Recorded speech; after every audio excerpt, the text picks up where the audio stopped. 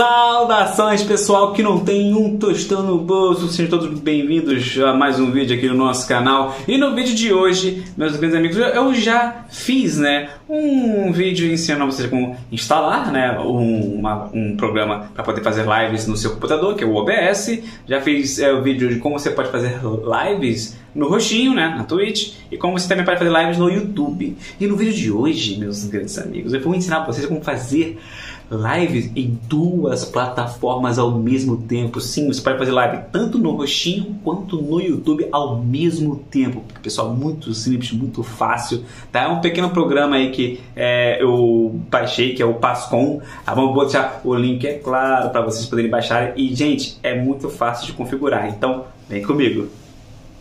Bom, meus amigos, antes que eu comece né, o tutorial de como vocês podem fazer live em duas plataformas ao mesmo tempo, é claro, não se esqueça de deixar aquele like maroto, se inscrever no nosso canal e ativar o sininho para receber notificações de vídeos e lives. É vídeo todo dia e é live também todo dia, meus grandes amigos. Vídeo a partir de 10 horas da manhã e live a partir de 5 e meia da tarde, beleza? De vez em quando dá uma data atrasadas, mas sempre é por esse horário aí ok? Também faço live no Roxinho, então segue a gente no Roxinho, nos siga nas nossas redes sociais, entra no Discord, vai debater altos papos e é claro, não se esqueça de se inscrever no nosso outro canal, né, que é o Dólar Furado, lá você vai ver que é um canal com mais conteúdo sobre reviews, unboxings, dicas de conserto de videogames antigos e muito mais, beleza? Então, bora lá, meus camaradas. Bom, como vocês estão vendo aqui, já estou aqui na minha área de trabalho, né? O bacana aqui é o que, pessoal? Quando você já tem o OBS instalado, tá? Caso você não saiba como baixar o, o OBS Studio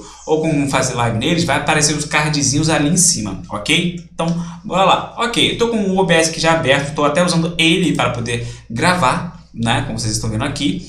Ok, é, a, a primeira coisa, você já tem que estar conectado a alguma plataforma, tá? Pode ser uma plataforma de sua preferência. Ok? Então você vai em configurações, tá? Configurações, vai em transmissão e aqui, né, como vocês estão vendo, eu estou, né, é, pela plataforma da Twitch, né, o roxinho. Mas você pode escolher muito bem outras plataformas, como YouTube, Facebook, Restream, Twitter e, e, e outras, ok?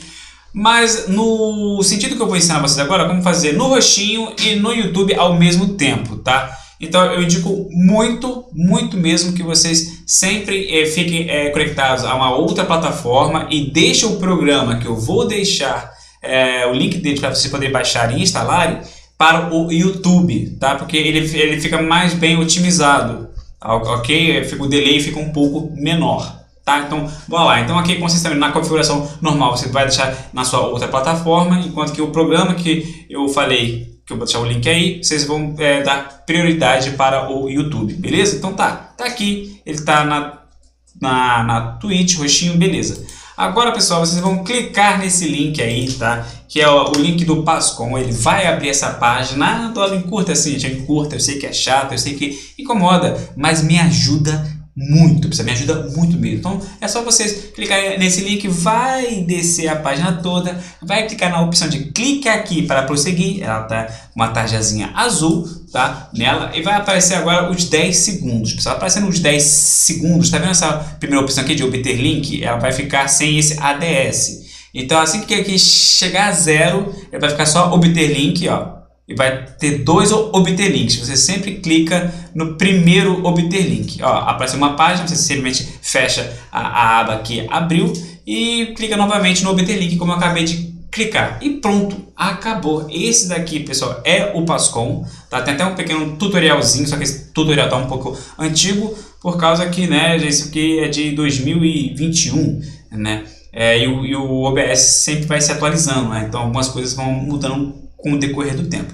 Mas é esse aqui que você precisa baixar, ó, Setup Pascom OBS underline 015, né? Você vai clicar com o botão direito do seu mouse, tá? Vai é, escolher a opção fazer download, né? Vocês estão vendo aqui, ó, deixa eu ver aqui se, se aparece bonitinho aqui, né? Ali, ó, fazer download, beleza? Não sei se vocês estão vendo bem, né? Aqui, ó, fazer download, ok? Você vai clicar ali em fazer download, tá? Aí vai aparecer a janelinha lá em cima de, de fazer o download dele. Ó, setup é um tipo de arquivo que pode danificar, mas não precisa se preocupar porque isso aqui é coisas né, do próprio sistema, né? Que para poder, é, como ele não conhece esse programa, ele pensa que pode ser algo nocivo, algo perigoso. Então você vai escolher ali a opção de manter, ao invés de excluir, ó, manter e pronto. É um arquivo muito leve, cara. Ele é menos de 4 megabytes, muito simples, muito fácil. Tá, fiz aqui o download dele, tá? Eu vou abrir aqui ele aqui, vou é, levar ele para a área de trabalho para ficar mais fácil para todos vocês. Está aqui, ó, pronto, ó, OBS está aqui, vou dar uma minimizada no OBS, como vocês estão vendo, está aqui o setup, tá? Ó, setup Pascom, né? Como vocês estão vendo aqui. Vou dar dois cliques nele. É assim que ele abrir, vai aparecer essa páginazinha aqui do bem-vindo, né? Ao Pascom. Você vai apertar em Next, tá bom? Vai apertar em Next no, novamente. Lembrando, pessoal, você sempre tem que é, colocar o Pascom na pasta do OBS. Se ele não, se é porque se o OBS não encontrar, você não vai conseguir ver o, o, o Pascom, entendeu? Porque ele não vai conseguir é, reconhecê-lo.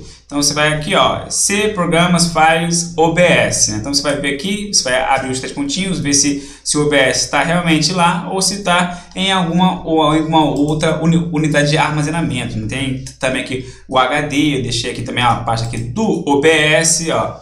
O, o meu aqui, o meu OBS, ele está no meu HD externo, né? Então, normalmente quando vocês instalam o OBS, você instala no, no na memória do próprio computador. Mas eu, eu coloquei no HD externo para não ficar ocupando tanta memória, esse tipo de coisa, né? Então eu coloquei no HD externo, sempre você vai procurar na pasta OBS, né? A pasta do OBS aqui, ó. Pasta OBS, né? Você vai clicar, clicar aqui em OK, ó. D, OK, né? Porque é meu, que é meu HD externo, o D. Vou apertar Next, apertar Start e pronto, pessoal. Ele está instalado, tá? Até apareceu um outro ali alto, liturgia ali em cima, né? Como vocês podem ver, ó, apertar Next aqui novamente e apertar Exit. Ó, esse daqui é o setup, vou deixar ele aqui escondidinho aqui. E aqui em cima é esse daqui, ó, que, que é o programa, tá bom? Você vai deixar ele aqui ah, num lugarzinho aqui bonitinho, tá? Vou dar aqui dois cliques nele, só para dar uma inicializada, aparece uma tela pretazinha, como vocês viram, tá? E beleza, agora no OBS já está funcionando. Porém, quando vocês estiverem vendo aqui, vocês não vão conseguir ver o, o Pascom. O Pascom não está aqui, tá? Então vocês vão em conjuntos, tá? Do OBS, que, que fica aqui, ó.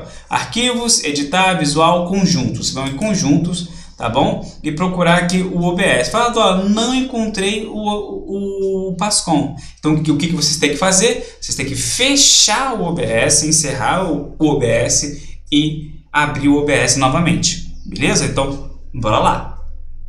Como vocês viram, eu, é, houve um, um, pequeno corte no vídeo, porque eu tive que encerrar o OBS, né? Porque eu estou gravando com o OBS. E agora, vocês abriram o OBS e está a mesma coisa?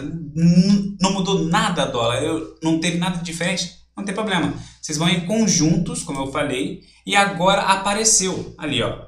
Vocês estão vendo? Ali, ó. Pascom Multistream ver 1.5 beta by Eonazis, né? Então esse aqui mesmo que você vai clicar, você vai deixar ele marcado e pronto, ó, aparece uma pequena janelinha aqui, vou deixar essa janelinha em amostra aqui, ó, tá até aqui já.